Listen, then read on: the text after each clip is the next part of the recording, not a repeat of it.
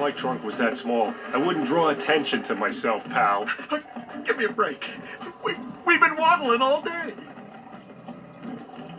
Oh, go ahead. Follow the crowd. It'll be quieter when you're gone. Ah, come on. He wants to raise the death ladder.